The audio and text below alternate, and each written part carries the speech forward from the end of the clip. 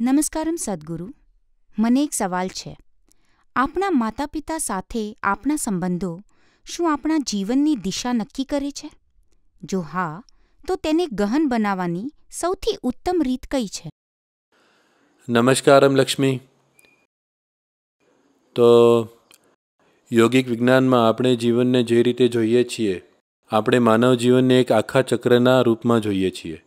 તો વ્યક્તિ ચોર્યાસી વર્ષ સુધી જીવિત રહે જીવનના આ ચક્રોમાં, જેમાં ચંદ્રના એક હજારથી થોડા વધુ ચક્રો હોય છે. પહેલો ચતુર્થ ભાગ ઉર્જાની દ્રષ્ટિએ મા બાપનો આપણી ઉપર પ્રભાવ હોય છે. કર્મોની વાત કરીએ તો, ફક્ત એકવીસ વર્ષની ઉંમર સુધી જ માતા પિતા આપણને પ્રભાવિત કરી શકે છે. તેના પછી આપણે એમનાથી પ્રભાવિત ન થવું જોઈએ. પરંતુ તેમણે આપણી માટે જે કંઈ પણ કર્યું છે, પહેલાં તો તેઓ આપણને આ દુનિયામાં લઈને આવ્યા. અને આપણા પ્રત્યે પ્રેમ અને લગાવના કારણે.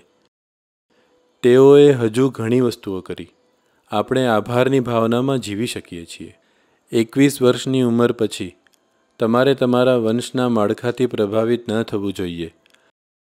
કારણ કે મહત્ત્વની વસ્તુ એ છે કે આ એક નવજીવન છે. આને એ જ વસ્તુઓનું પુનરાવર્તન ન કરવું જોઈએ જે પાછલી પેઢીએ કરી હતી. તો વધુમાં વધુ એકવીસ વર્ષની ઉંમર સુધી એક કાર્મિક અસર હોય છે, જે ચોક્કસપણે દરેકને અસર કરે છે. પરંતુ એકવીસ વર્ષની ઉંમર પછી એવી કોઈ વસ્તુ નથી રહેતી.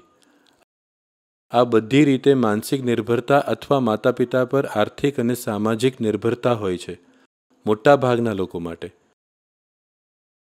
મૂળ રૂપે એકવીસ વર્ષની ઉંમરમાં આ બંધન તૂટી જાય છે, પરંતુ તેના પછી આ સંબંધોનું, પ્રેમનું અને આભારનું બંધન હોય છે.